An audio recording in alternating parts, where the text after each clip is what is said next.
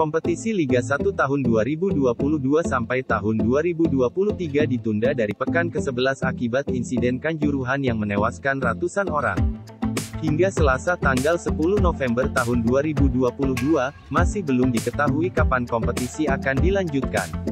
Misi Pencari Fakta Independen Terpadu, TGIPF, melanjutkan pekerjaannya untuk menyelidiki tragedi Kanjuruhan secara menyeluruh. Sebagai pemain, David Rumakik hanya bisa menunggu untuk mempersiapkan diri kembali lebih kuat saat kompetisi kembali bergulir. Pelatih Persib Bandung Luis Milla juga tidak membubarkan tim sendirian, dalam satu minggu, Maung Bandung berlatih selama empat hari, mengambil cuti tiga hari, dan mencoba permainan setiap minggu. Menurut saya, ketidakpastian ini baik untuk kami sebagai tim dan memungkinkan kami untuk mempersiapkan tim yang lebih baik di masa depan. Tim ini bisa lebih baik lagi di masa depan. Pemain dari Jayapura telah mengambil pelajaran di balik penundaan liga. Rumakik, yang baru-baru ini mengalami cedera lutut, mungkin masih punya waktu untuk pulih. Ia berharap bisa kembali bermain saat kompetisi dilanjutkan dan mendapatkan kepercayaan dari pelatih Luis Milla. Ya, saya pikir itu aspek positif untuk tim dan secara pribadi karena penyembuhannya. Saya harap liga berjalan dengan baik, sehingga saya tidak akan melewatkan terlalu banyak pertandingan nanti, kata kakak Ramai Rumatik.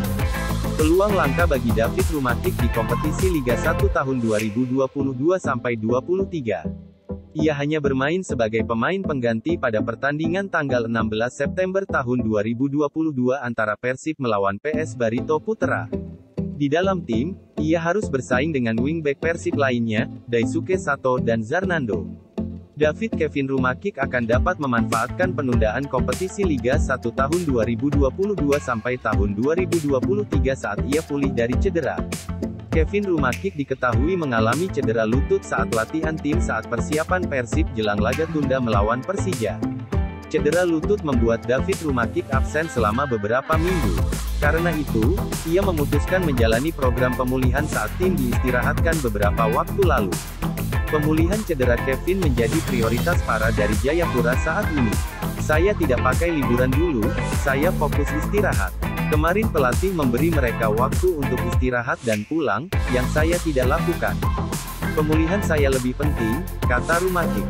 Selama kompetisi Liga 1 tahun 2022 sampai tahun 2023, Rumakik hanya bermain beberapa menit sebagai pemain pengganti dalam laga Persib vs PS Barito Putra pada tanggal 16 September tahun 2022.